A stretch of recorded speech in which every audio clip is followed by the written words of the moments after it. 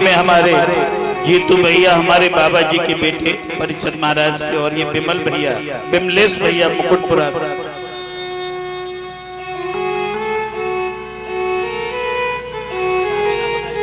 और हमारी चाची,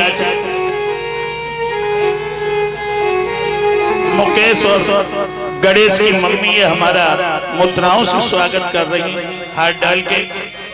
भगवान हमेशा इनको सुख संपत्ति प्रदान करें। इन दोनों भाइयों को दीर्घायु दे, यही हमारी प्रभु से विनती है कामना है बोलिए, द्वारिकाधीश भगवान की। जय आज सुदामा जी कन्हैया की रानियाँ, पटरानियों को आशीर्वाद दे रहे पुत्रवती भव पुत्रवती भव। रुक्मणी आई जामवंती आई शतिभामा आई कालिंद्री आई मित्रविंदा आई भद्रा आई नागनिजती आई पुत्रवती भव, सौ दो सौ निकल गई तो पुत्रवती भूल गई। अब कहने लगे, भव भव भव, जब एक हज़ार निकल गई तो भव भी भूल गए। थक गए ना बोलते बोलते तो खोपड़ी हिलाने लगे। और जब हज़ार, दो हज़ार निकल गई तो अब खोपड़ी भी दर्द करने लगी। अब सुदामा जी बोले, कन्हैया सो कान में बोले, ये तुम्हारी है कि किराए पे बुलाई। क्यों श्याम, ये तुम्हारी है या किराए पे बुलाई? कन्हैया जी कहने लगे, सब तुम्हारी है भैया। तो आप हमसे ले लो आशीर्वाद, आप बांटते रहना, हमें चलने दो भैया। हमें काहे को आप विलंब कर रहे सुदामा जी खड़े हो गए, खड़े होकर के हाथ हिलाया। सभी को आशीर्वाद दिया। और कन्हैया जी और सुदामा आगे बढ़े, आगे सुदामा पीछे। कृष्ण, मेरे श्याम सुंदर ने मुट्ठी बंद करके बगल में दबा ली। सुदामा अपने मन में विचार कर रहे हैं कि इसकी इतनी रानियाँ, पटरानियाँ अगर ये एक एक रुपया देती तो हम रईस हो जाते। कुछ नहीं दिया इन्होंने। लेकिन अब सुदामा जी का ध्यान कृष्ण की मुट्ठियों पर है, भाइयों। सुदामा जी सोच रहे कि मुट्ठियों में कोई बहुत मूल्यवान चीज़ होगी, हमारी गरीबी मिट जाएगी। अब द्वारिका के बाहर निकले तो कन्हैया जी ने रास्ता बताया। द्वारिकाधीश कहने लगे, सुदामा भैया, अब मुट्ठी बंद किए थे। एक बगल से हाथ निकाला, मुट्ठी खोली, वो वृक्ष खड़ा। वो उस वृक्ष से आप इधर मुड़ जाना इधर। और वही रास्ता आगे जाता है वृंदापुरी को। सुदामा जी का ध्यान मुट्ठियों पर है। कुछ नहीं है हाथों में। अब तो सुदामा झल्ला के बोले, ठीक है ठीक है, चला जाऊँगा, जाओ जाओ जाओ, चला जाऊँगा। हम जानते हैं रास्ता।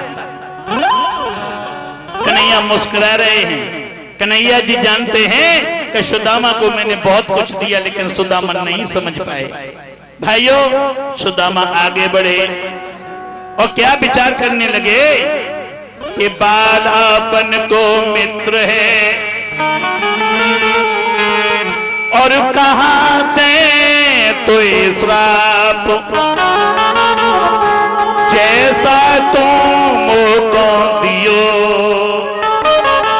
वैसा पाए आप। अरे आपने जो हमें दिया, अपना ले लो। तो जो दो लोग दिए थे, सुदामा जी ने वो भी वापस कर दिए। कन्हैया जी। अपने मन में विचार कर रहे सुदामा भैया, नहीं समझ पा रहा मैंने। दो लोग दिए थे, वो भी वापस कर दिए। लेकिन मेरे श्याम सुंदर ने, कन्हैया जी ने सुदामा का वैभव नहीं लिया। सुदामा जी आगे बढ़ गए। पुनः एक वृक्ष के नीचे लेट गए। दोपहर में तो मेरे श्याम सुंदर ने पार्षद भेजे। सोते हुए सुदामा को, फिर सुदामापुरी के किनारे पार्षदों ने लेटा दिया।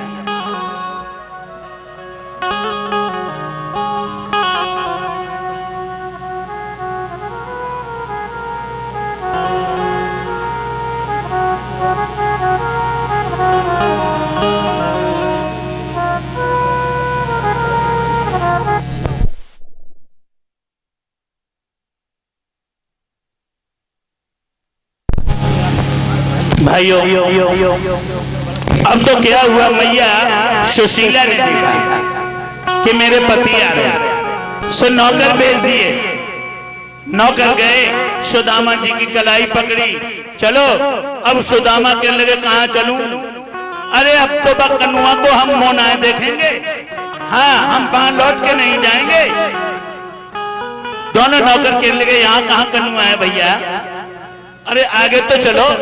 सुदामा जी की कलाई पकड़ के ले गए। तो क्या देखा सुशीला? अपने महल से निकली सुंदर थाली में दीपक रखा है। सुशीला को जो आता देखा सुदामा आश्चर्यचकित हो गए बाप रे। सुशीला ने आरती उतारी सुदामा के चरणों में प्रणाम किया। कहने लगी प्राणेश्वर चलो। अब तो सुदामा ऊपर को देख रहे। और सुशीला की ओर देख करके बोले सुशीला रात ही भर में मोटी हो गई हैं? रात भर में तुम गोरी हो गई और इतने तुम्हारे ठाट, सुशीला ऊपर से नीचे तक पीली, इतने गहने पहने। सुदामा जी सुशीला के साथ गए। सोटा कमंडल तो फेंका। और दूध की फ़ैन जैसी सेज पे बैठ गए। सुदामा जी कहने लगे, सुशीला अब सोने की रोटी चांदी की दाल बनाओ। और हीरा जवाहरात का उसमें तड़का लगाओ, फिर हमें खिलाओ। सुशीला कहने लगी, है प्राणेश्वर चाहे कोई गरीब हो, चाहे रईस हो, पर सभी अनाज खाते हैं, कोई सोना चांदी नहीं खाता। सुदामा कहने लगे तो भगवान ने यह धन हमें क्यों दिया? क्या करेंगे इस धन का? इसका क्या करेंगे?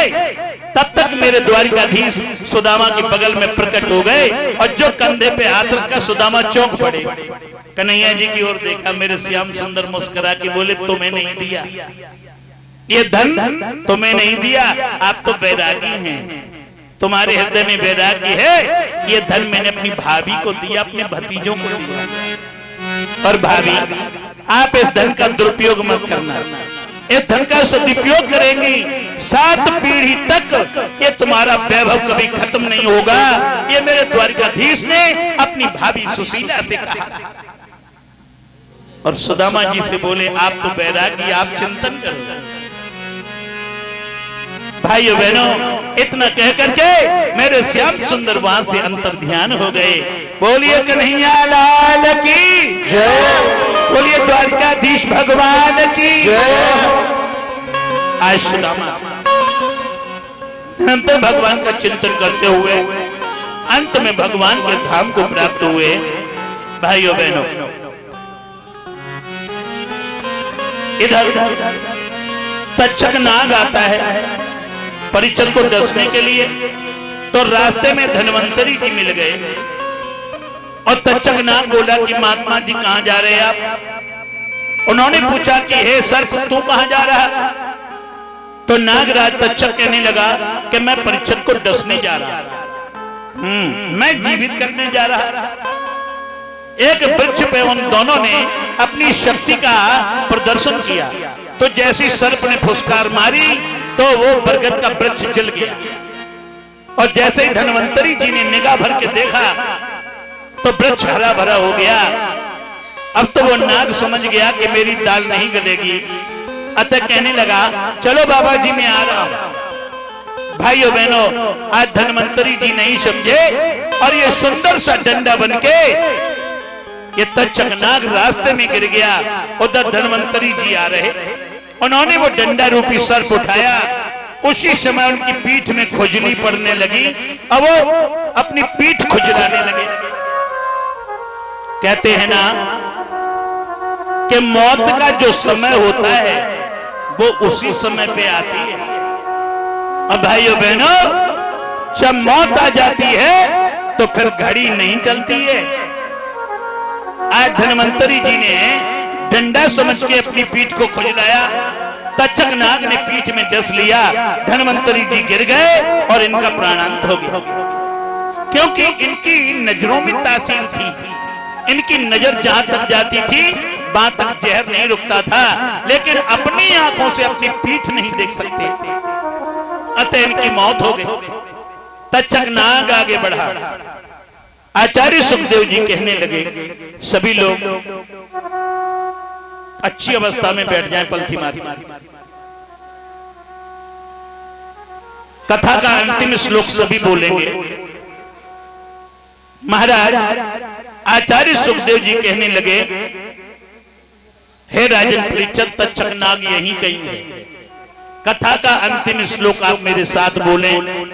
तो सुखदेव जी और महाराज परीक्षित अठासी हज़ार महात्मा उस श्लोक को बोलने लगे, अंतिम श्लोक कथा का। नाम संकीर्तनम यस्य। नाम संकीर्तनम यस्य। नाम संकीर्तनम यस्य। नाम संकीर्तनम यस्य। सर्व पाप प्रणाशनम सर्वपापप्रणाशनम् दुख समनस्तम प्रणामो दुःखशमनस्तम् प्रणामो दुख समनस्तम प्रणामो दुःखशमनस्तम् नमामि हरिम परम नमामि हरिं परम् नमामि हरिम परम नमामि हरिं परम् भागवत का अंतिम श्लोक बुलवाया आचार्य सुखदेव जी ने सामूहिक भाइयों, सुखदेव जी बोले, राजा परीक्षित आप खड़े हो जाओ।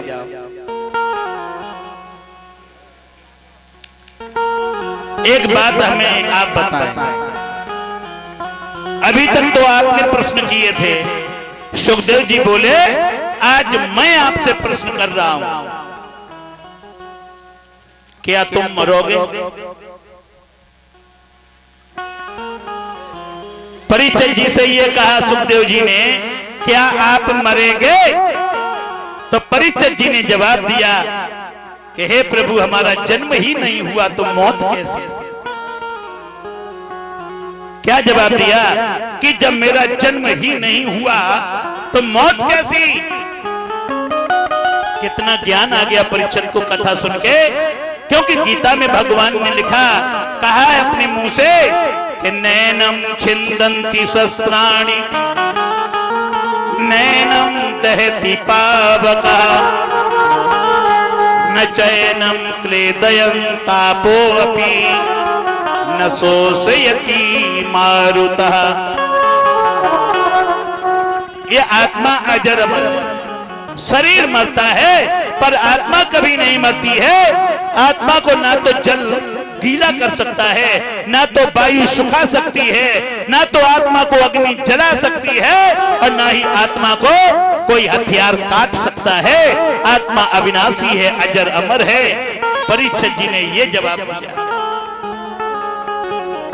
सुखदेव जी कहने लगे अपने मन में कि ये हमें सुपात्र शिष्य मिला जिसे मैंने ये श्रीमद भागवत की कथा श्रवण करवाई। भाइयों बहनों तब तक तक्षक नाग एक मच्छर का रूप धारण करके परिचय जी के आगे कुछ फूल रखे, उनमें प्रवेश हो गया।